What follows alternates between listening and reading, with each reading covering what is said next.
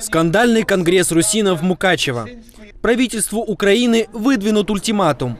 Совсем скоро Закарпатскую область могут преобразить в республику Подкарпатская Русь. На втором Европейском конгрессе русинов коренные жители Карпатского региона провозгласили акт воссоздания русинской государственности. В 91 году коренные жители Закарпатья проголосовали за независимость Украины только при условии, что Закарпатский регион получит автономный статус. Независимость Украины признали, а вот про русинов и их однозначные требования сразу забыли.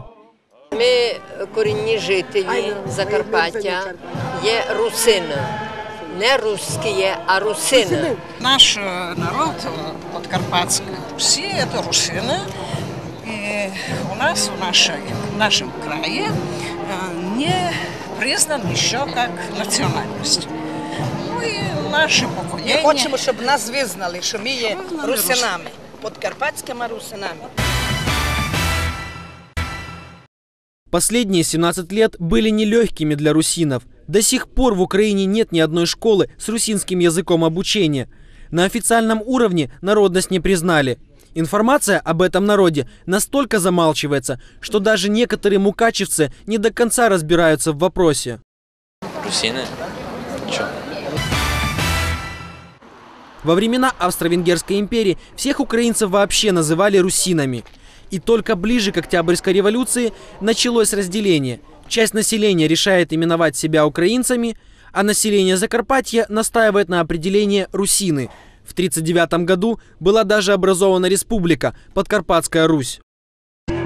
Сойм Карпатської України вибраний українським народом Карпатської України дня 12 лютого 1939 року і зібраний в густі дня 15 березня 1939 року, виконуючи іменем Карпато-українського народу своє святе право самовизначення, проголошує повну самостійність Карпатської України. Затем Закарпатье стало частью Советского Союза, и всех русинов записали в украинцы. Хотя исторически это в корне неверно. После распада Союза русины попытались возобновить свой статус, но безуспешно.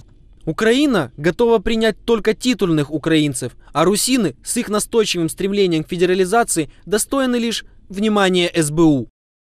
Меня вызывали в областную СБУ, сколько ко мне приходили, телеграммы, письма, и мне сказали, что мне дадут наручники. Они меня доставили туда. Я говорю, хочу видеть, чтобы только в центре города, чтобы видел мир и Украина, что какая в Украине есть демократия.